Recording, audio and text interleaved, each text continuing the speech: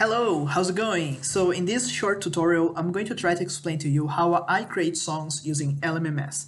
Uh, so the first thing you're gonna do, you're going to close these windows here because we won't be using them right now, okay? And then we're gonna have these four tracks here. We're not gonna be using them right now and for our own purposes, we're not gonna be using them here. So we just click in this icon here, this gear icon, and then remove this track, remove this track, remove this track. So I like using this plugin, which is the SF2 player. So as you can see here in the description, it's a player for sound font files. Sound font files basically have uh, sound samples. So basically it's like a MIDI composer, right? First of all, we have to select our sound, right? So as you can see here, we have a piano, but first you gotta download an SF2 file, right? So because this is the file that's gonna have the samples of the sounds that you want. Uh, I usually use this one, the SGM uh, v2.01.sf2. So we're gonna open it and I, I will provide a link uh, in the description so you can download this as well.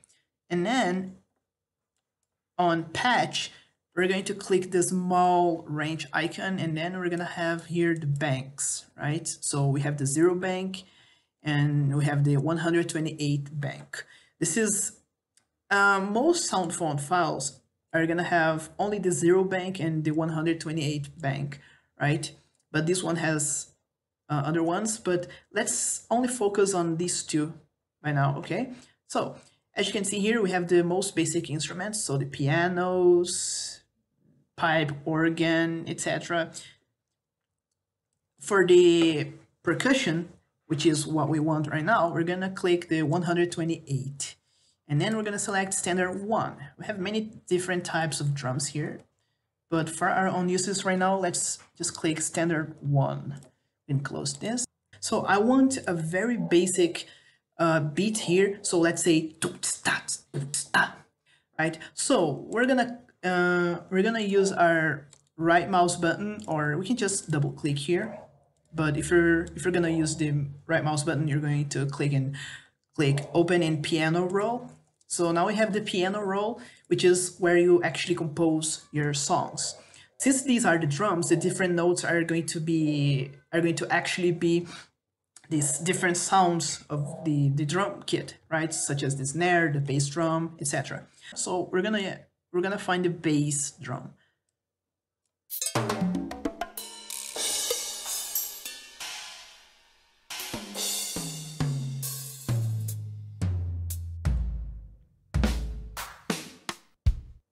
So we found it. So let's put another one here, and then we have this. So now we have to put this snare. Yeah, we have this snare here. So we need it. We need the ride, right?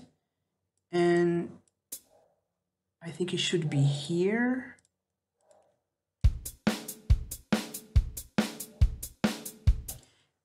Okay, so now, so uh, we need to to fill these these four spaces here. This one, this one, and this one. Um, so what you're gonna do is you're going to hold Control, and then this square is gonna show up on the screen, and then you're gonna put the square over the notes that you want to select. And then to make a copy of these, you're going to hold shift and then you're going to drag this across the piano roll. So you see now we have four copies of it, right? So let's add a crash cymbal here. Crash cymbal. Uh, here and here. So as you can notice, the crash cymbal sound is a little bit too loud. So we're gonna select these two. Then we're gonna go here on note, velocity, and then here, basically, you're going to define the volume of these two particular uh, notes. So let's set it at 70. Maybe it's a little too, too low, too quiet. Uh, 74. Okay, that's good. See, now we have our basic drums. So we can drag another one here. And then, oh, let's name this as drums, right? And let's name this as bass. We're gonna be using a bass here. We're gonna click here, opening piano roll again. And then let's say we want uh, this melody. Dun, dun, dun, dun, dun, dun. Right, so let's try to find it. Okay, I found it. So let's change this because I, for, I have forgotten about that. So we're gonna click here and then we're gonna try to find the bass. So let's use the picked bass.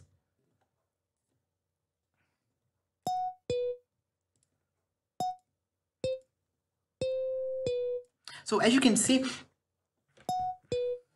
you can see these notes are too short. So how can we make them longer? So when you hover your mouse over the edge of the note, this line with two arrows is going to show up, right? So you just drag it and then the note is going to be longer, right?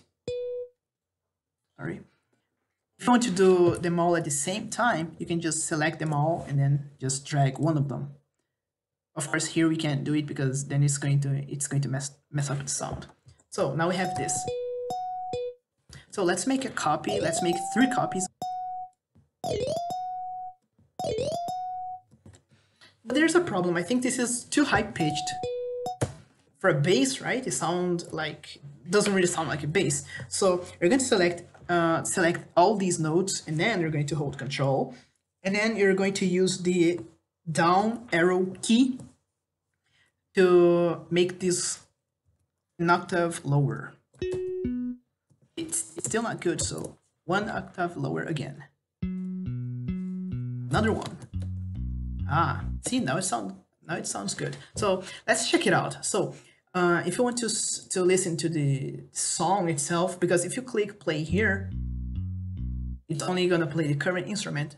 So you just close this and then when you are in the song editor, you just click play here. Then you can use, you can hear the drums with the bass.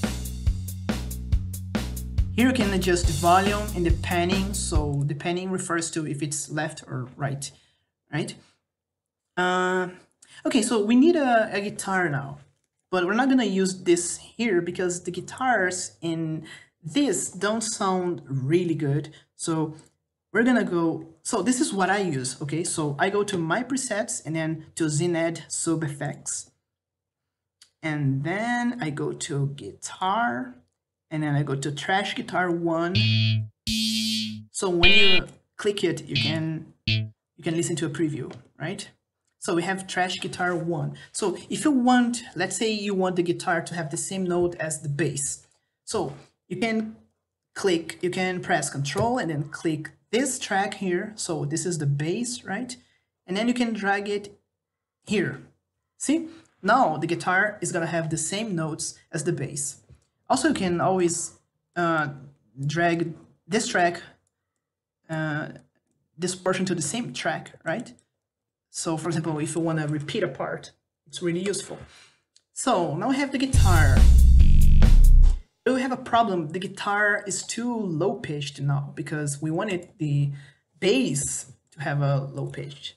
So one of one of the things that we can do is to use the same method as as we used before, right? So you're just gonna select all these notes and then you're gonna hold control and then you're gonna press the up arrow key and then let's go two octaves higher. I think that's good.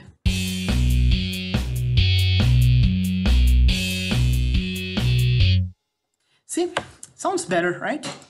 So, okay, basically that's it. Uh, there's something else that we can do. So let's say you want your song to be a semitone higher, the, your entire song. So we can click this button here, the master pitch button, and then you can go one notch up. So one semitone. But now we have a problem because the drums are totally messed up because remember, uh, the notes, quote unquote, of the drums are actually the different sounds of the drums. So to avoid that, let's go back to the zero semitones. You can open the drums, open the drums, And then you can click these three dots here. And then you're gonna have the master pitch enabled. So just uncheck this because then uh, the master pitch will be disabled only for the drums. So now we can go one semitone higher. So as you can see, the bass and the guitar are one semitone higher, but not the drums, of course, because we don't want the drums to change, right?